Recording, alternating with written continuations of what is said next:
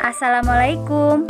Halo teman-teman fans Natasha Wilona di mana pun kalian berada, apa kabar? Semoga kalian dalam keadaan sehat selalu ya guys.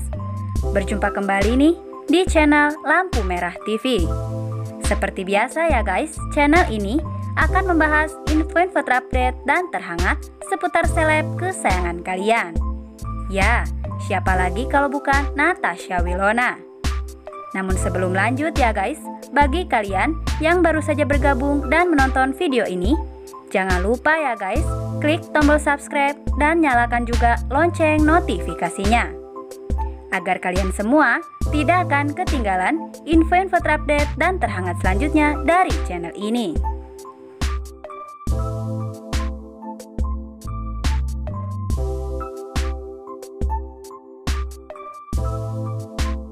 Nah guys, sebagai seorang selebritis terkemuka, tak heran jika nama Natasha Wilona selalu berhasil mencuri banyak perhatian dan gerak-geriknya pun kerap kali disorot. Dan tentu hal tersebut pun berimbas pada akun media sosial pribadi Natasha Wilona yang selalu menjadi sarana bagi warganet untuk mengulik sisi kehidupan serta kesehariannya.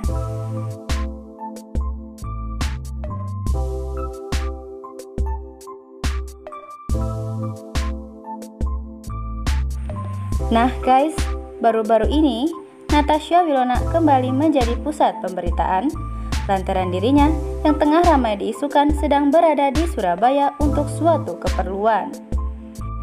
Yang tentu hal tersebut pun kembali dikait-kaitkan dengan sosok Melvin Tenggara. Terlebih menurut para netizen, Natasha Wilona pun sempat memberikan sebuah kode bahwa memang dirinya tengah berada di Surabaya melalui unggahan di media sosialnya.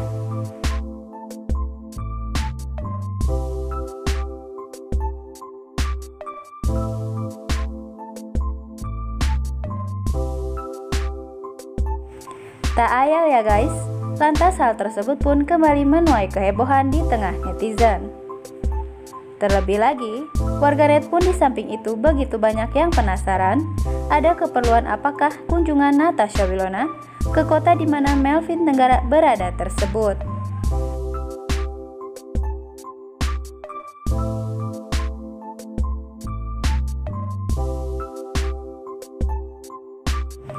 Nah guys, itulah tadi ya info-info terupdate dan terhangat seputar seleb kesayangan kalian.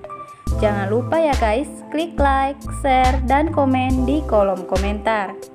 Dan nantikan terus ya guys, info-info terupdate dan terhangat selanjutnya dari channel ini. Terima kasih.